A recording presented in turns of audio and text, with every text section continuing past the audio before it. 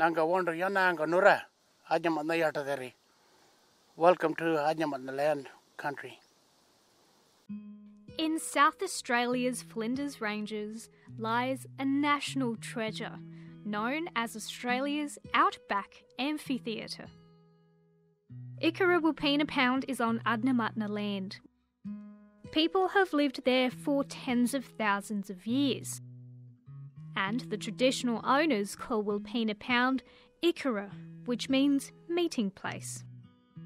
Adnyamathanha elder Mick McKenzie is one of the tour guides at the Ikara Wilpena Pound Resort. He has spent almost six years sharing his nation's culture and heritage, but that had to stop when the resort closed temporarily. It's about the health, you know, people's uh, well-being, like that. So we had to uh, close it down.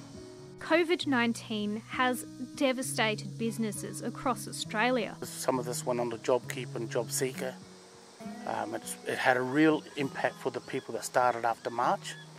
Adnyamathanha woman Charlene Tree says the lockdowns have taken a substantial toll. It's had a huge impact um, on our business. Um, during the last round of lockdowns, we were almost booked to capacity and we had, um, I think, 240 cancellations. Despite this, there were some benefits for the local wildlife.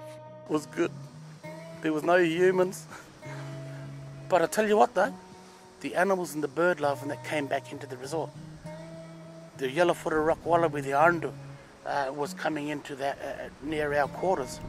Never before. Now the tours are back on and they have been included in an online database of Indigenous tourism experiences on a national not for profit portal called Welcome to Country.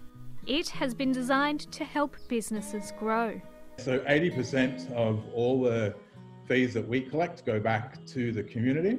When I say community, it goes back to the operator Charlene says it is a great idea to have the cultural tours featured on the website.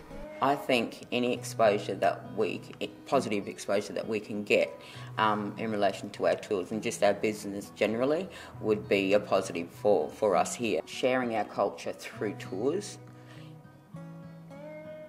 just still does that for me. You know, like it breaks down that barrier between um, Aboriginal and non Aboriginal people. Gives them an insight into our culture because I think hatred and racism comes from ignorance and people are, are afraid of what they don't understand.